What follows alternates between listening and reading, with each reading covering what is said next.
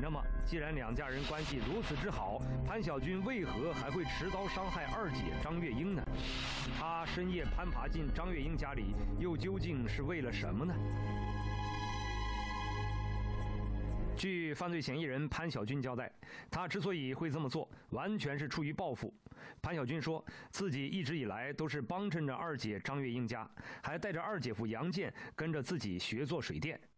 工作上面是原先本身一起去合伙包的，后面后面老板另外有事，他说他他说要分开做，硬要叫我去安徽那边做。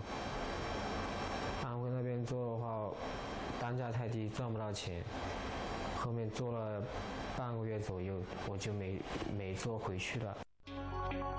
潘小军性格相对内向，而二姐夫杨建则相对活络，因此这几年杨建接到的工程也较多，收入也稳步上升。而潘小军后来则没有再做水电，而是回到老家和妻子开了一家小卖部。可是由于经营不善，生意一直处于亏损状态。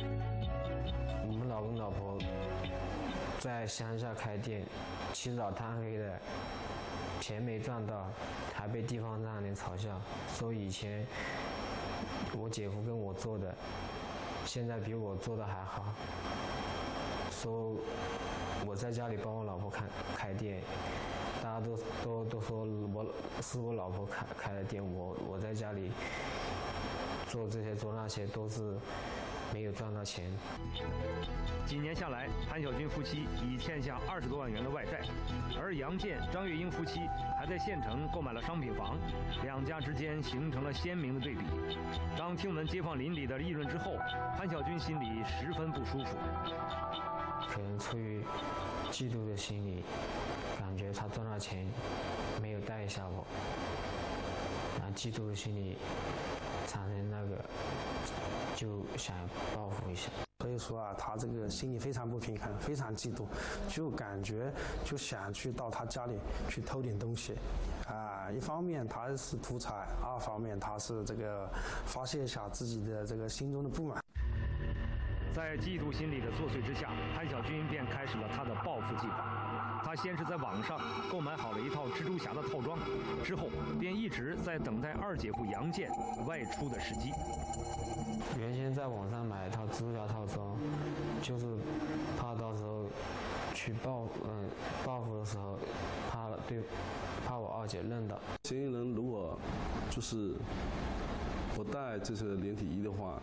他就是不用说话，那可能被害人看看到他这个这个嫌疑人的眼睛，看到他的一个眼神对视一下，或者说这个咳嗽一下，或者说嫌疑人的随便的一个一个一个动作，可能这个受害人都会认出他。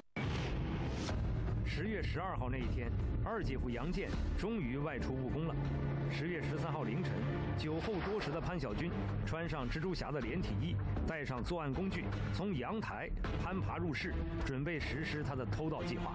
没想到，在现场待了不到十分钟，就将二姐张月英给惊醒了。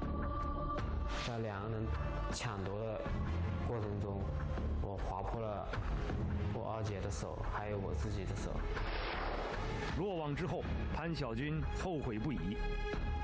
我非常后悔，因为自己的内心不够强大，不敢把事情用言语来表达出来，放在内心，使得事情恶大化。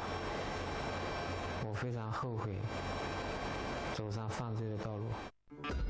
而知道真相之后的张月英一家人也非常难过。张月英还向警方出具了谅解书，希望法律能对潘小军从轻处理。